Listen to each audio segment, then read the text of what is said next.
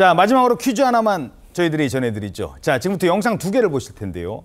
가수 얘기입니다. 우리나라 가수 얘기. 이 영상에 등장하는 가수가 공통점이 있대요. 전혀 공통점이 없어 보이는데 있대요. 화면 먼저 보시죠. 어떤 공통점인지 맞춰보시기 바랍니다.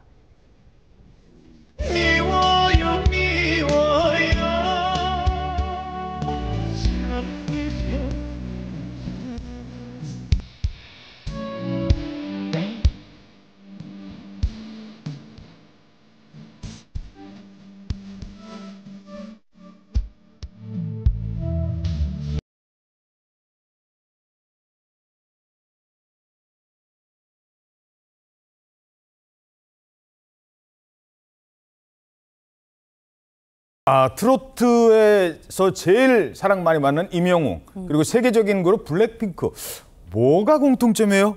바로 숫자 8입니다. 팔? 네, 지난 2016년 8월 8일에 데뷔를 했고요. 어제는 또 어제가 데뷔 8주년인데요. 방금 들은 노래도 이 두 곡이 각각 데뷔곡입니다. 오. 중국에서는 숫자 8을 빠라고 발음을 하는데요. 예. 또 돈을 잘 벌다, 대박 터지다, 돈을 많이 벌게 하다라는 말 중에서 빠차이라는 중국어가 있습니다. 음. 그래서 뭐 너 대박 났어?라고 중국인들이 물어볼 때는요, 어, 니 팔로마라고 하기도 하거든요. 예, 욕 같기도 하네. 예, 아무튼.